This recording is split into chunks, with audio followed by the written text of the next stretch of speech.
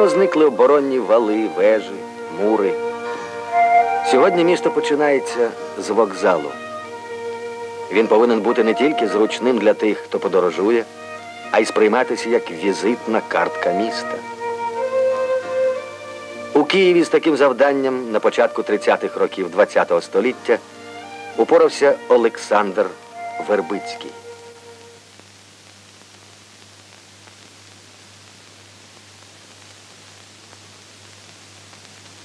Олександр Матвійович Вербицький народився у Севастополі в родині техніка будівельника.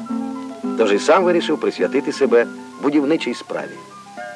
Море і гори були його першими вчителями в володінні простором і об'ємом. Дихання їх суворої величі можна відчути у кожній роботі майстра. До цих пейзажів він полюбляв вертатися навіть подумки.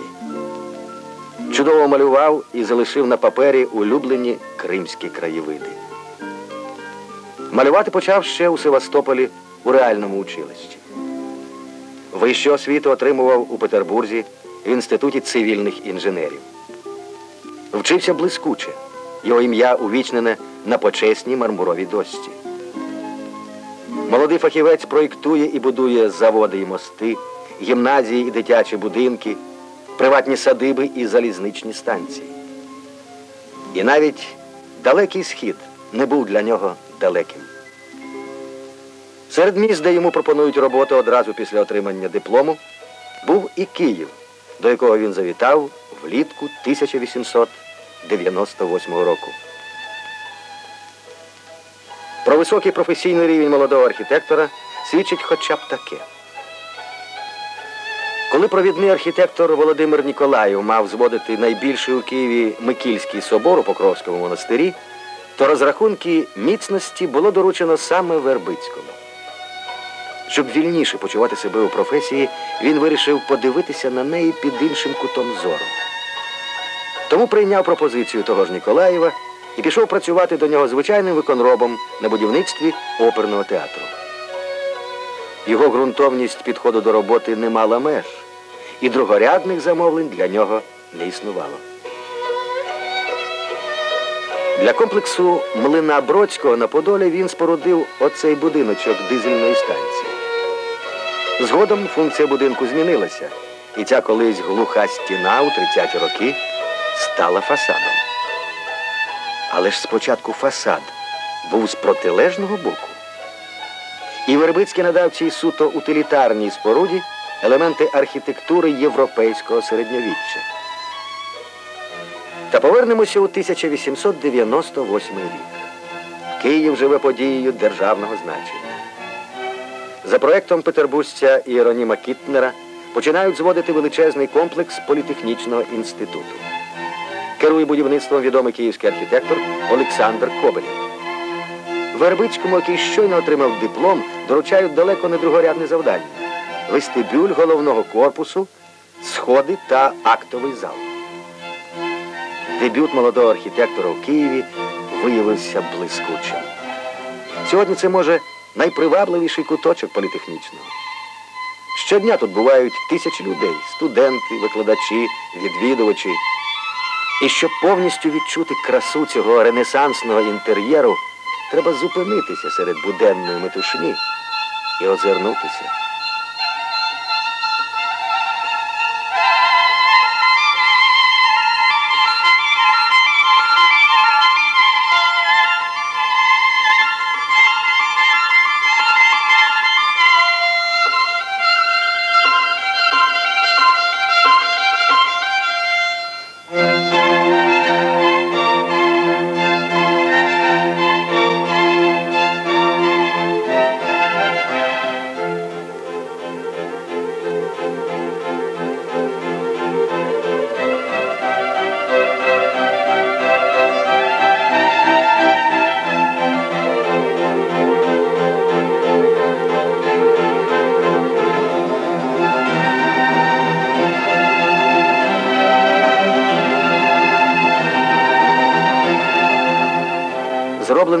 Зроблене у політехнічному справило сильне враження у місті.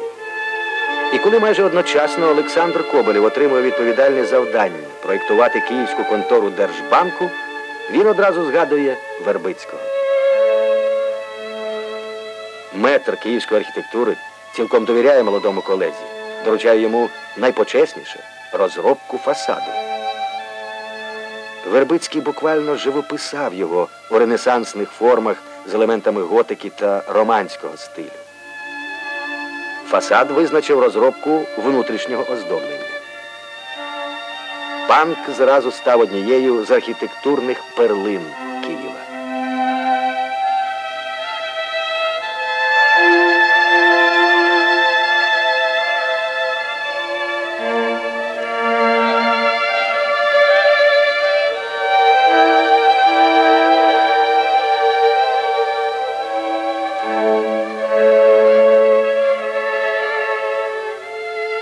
зважити на те, що у 1902-5 роках Вербицький створював фасад двоповерхової споруди.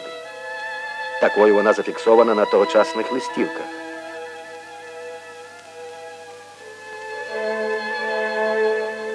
У 30-ті роки у зв'язку з поверненням Києву статусу столиці виникла потреба надбудувати два поверхи.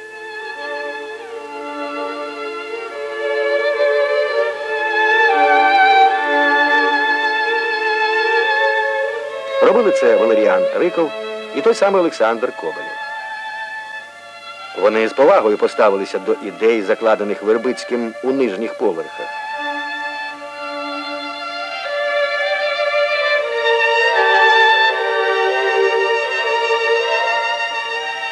З бутона Олександра Вербицького розквітла розкішна квітка.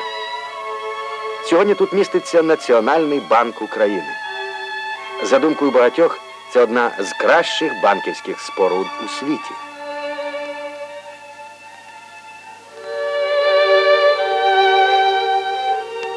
Дуже швидко ім'я Вербицького стає популярним у місті. Ось лист архітектора Дмитра Шпіллера до Фундуклеївської жіночої гімназії. У вас немає постійного архітектора. Ось на цю посаду я хочу рекомендувати вам інженера Олександра Матвійовича Вербицького. Це талановитий архітектор з великим досвідом і солідними знаннями. Добросовісний до найвищого ступеню, до прискіпливості. У місті у нього є декілька зведених будинків. Серед архітекторів і навіть просто серед мешканців він має ім'я як архітектор. На мій погляд, для вас це знахідка. Серед згаданих будинків звернемо увагу хоча б на цей Позаньковецький сім. Він відомий, зокрема, тим, що тут жила Анна Ахматова.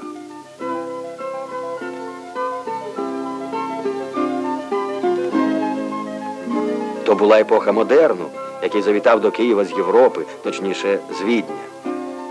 Модерну випала доля стати чистилищем для ХХ століття від змертвілого академізму. Одних він вів до декоративності, інших, зокрема і Вербицького, до раціоналізму, за яким проглядають форми конструктивізму. Ось зведений за його проектом будинок на Лютеранській 15. Деякий час Вербицький жив у ньому. У радянські часи під час боротьби з надлишками в архітектурі будинок дещо втратив у декорі. І все ж вигадливі форми вікон, зручні еркери, мальовничі деталі балконів, фігурні вставки з рослинним орнаментом разом з керамічним панно у стилі модерн художника Козлова роблять його окрасою вулиці.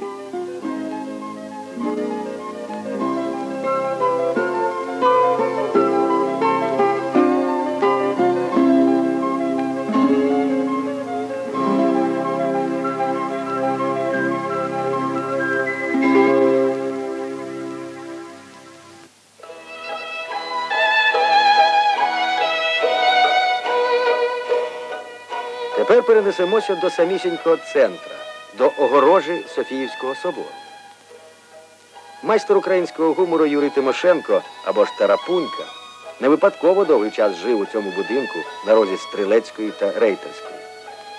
Це теж творіння Вербицького. Олександра Матвійовича пам'ятають сухуватим і навіть аскетичним, та не в молоді роки. Ця споруда з серії будівничі бавляться виконана з добрим гумором, фантазія на архітектурні теми. На готичному фасаді фронтон українського барокко вінчає ампірну колонаду. Майже конструктивістські еркери підтримуються примхливими, прикрашеними ліпниною кронштейнами у вигляді сувою. Данина моді жіноче обличчя модерну. Кажуть, у цей час він безнадійно закохався у володарку будинка Анну Шлянскевич. Ця напівпосмішка східного божка у Нірвані то не чекання власного щастя. В особистому житті йому не таланило. Цей красень так і залишився одинаком.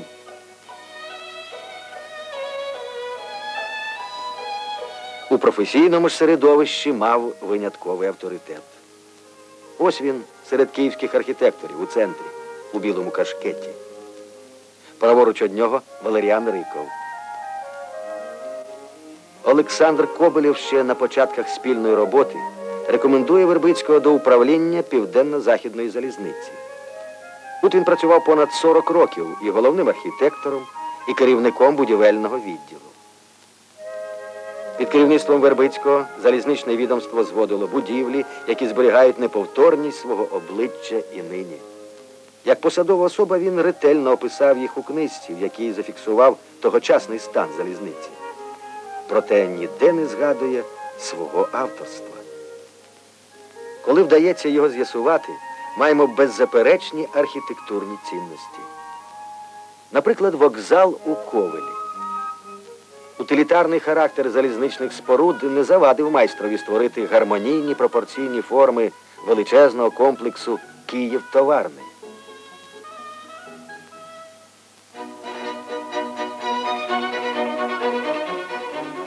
І пакгаузи, і сама станція зручно розташовані для роботи у промисловій зоні. Тому майже 100 років у переважній більшості киян цей архітектурний шедевр зовсім невідомий.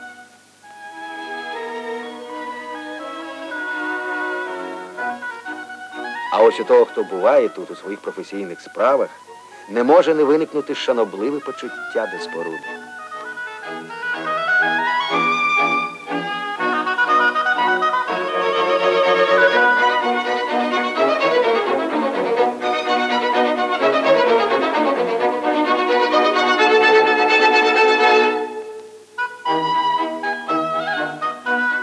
З повагою до клієнта створено чудовий касовий зал, один з кращих київських промислових інтер'єрів.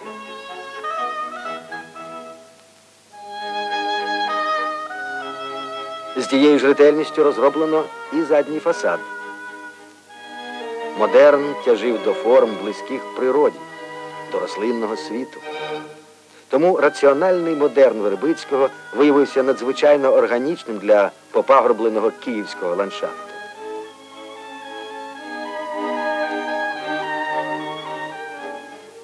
І нарешті про головну споруду Олександра Вербицького Київський вокзал. Старий вокзал, збудований архітектором Вишневським вже на рубежі віків, не відповідав амбітним вимогам цукрової столиці імперії. Його невиразний фасад губився у перспективі вулиці. Серед багатьох проєктів, які розглядалися на початку століття, був і проєкт Олександра Вербицького, який тільки но приїхав до Києва. Та на заваді стали війни, революції. Аж ось у кінці 20-х років оголошується закритий конкурс на будівництво найбільшої транспортної споруди першої радянської п'ятирічки Київського залізничного вокзалу. Престижності конкурсу надавало те, що залізниця, вокзали були символами епохи. Виграє конкурс знавець залізничної справи Олександр Вербицький. Простота і ясність композиції базується на багатій ерудиції, критичному ставленні до минулого, неослабному шуканні нового. Це був не просто розвиток традицій, то було їх переосмислення. Головний фронтон то могутнє відлуння українського барокко. Згадаймо хоча б знаменитий фронтон Кирилівської церкви. Ця форма не результат математичних розрахунків. Олександр Матвійович якось просто окреслив рукою цю тріумфальну арку, цей урочистий в'їзд до міста. Вільно оперуючи об'ємами, він у проєкті заклав ідеї, які було реалізовано значно пізніше. Наприклад, систему підземних тунелів та переходів над коліями.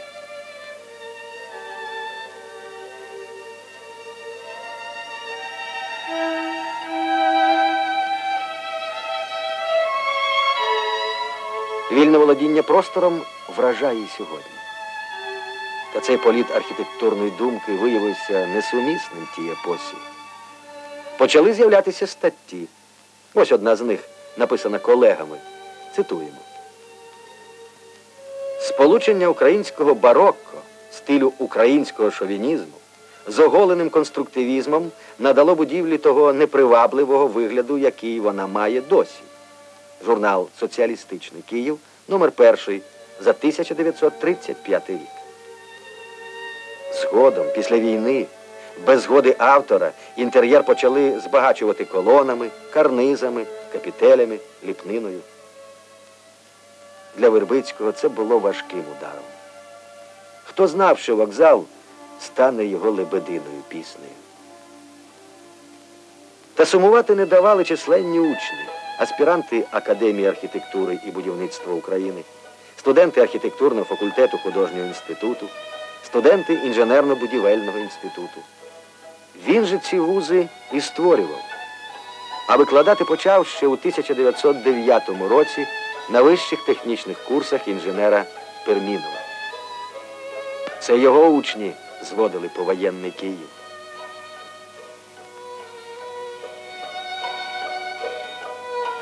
Ще власні задуми. Чи вірив у їх здійсненність? Але працював до останнього. Листопад 1958 року був у його житті 83-м і останнім. А далі тиша і спокій Лук'янівського кладовища. Для багатьох він залишився в пам'яті лагідним, сором'язливим, сухуватим і навіть аскетичним. Але очі випромінювали інше. Він просто нікого не підпускав до свого єства, а воно клекотало, як улюблене ним море. Бо інакше звідки взялося б те надзвичайне захоплення, яке пережив інший великий киянин Віктор Некрасов, коли вперше побачив авторський незіпсований варіант Київського вокзалу. Цитуємо. Рештування зняли, і вокзал представ у своїй бетонній наготі. У гігантських параболічних арках було щось від древніх соборів, урочистих, величних. І в той же час все було просто і доцільно. Двадцяте сторіччя.